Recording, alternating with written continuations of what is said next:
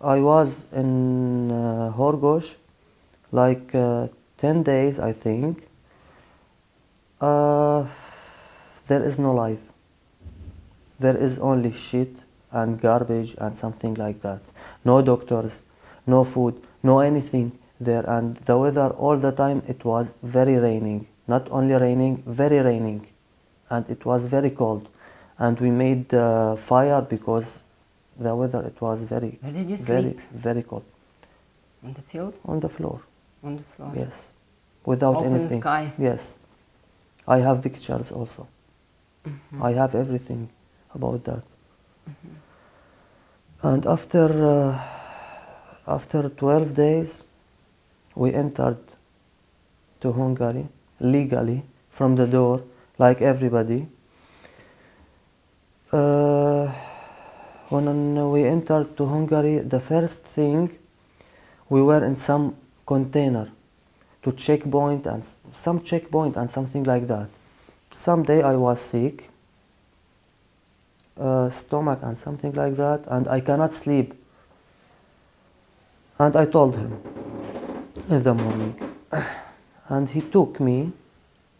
Some guy from the army with gun. He took me to the doctor, and uh, the doctor also from the army. And when I was with uh, this guy from the army in, next to the container for the doctor, the doctor, I think, I, I, I don't know, but I think he told him, wait, because I don't understand the Hungarian language. And after that, he pushed me to the back by gun without any reason. I swear. We have the first interview with uh, some translator. He's from Syria. I think, I am not sure, he's from Latakia. The first interview, like 10 or 15 minutes. He will ask you about your name, where are you from, why you left your country, and something like that. And the most important thing, you are Muslim, you are Orthodox, you are something like that. I don't know why. And we are, and I told him, we are in Europe Union. You cannot ask me that. We left our country because a lot of people there, the war for Muslim and Orthodox and something like that, and we are humans. After these questions, these bad questions, uh, he will ask you, uh, you want uh, to take asylum or to ask about asylum here in Hungary, you need or you should to, to tell, uh, to answer yes. Because if you answer no, he will deport you Immediately. Exactly. And after that, I told him, yes, that is with all the people, not only with me, legally.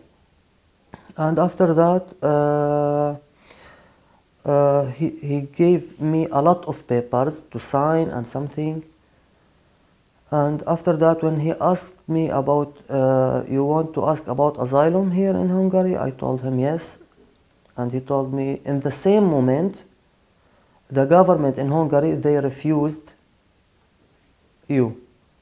But you can to continue that. And he gave me another paper to sign, and that's it, the first interview. I was in the second interview. He asked me uh, why you left Syria. And I told him why. And he told me about why you didn't stay in Syria because Syria need you now for the war. Syria, your homeland, and something like that.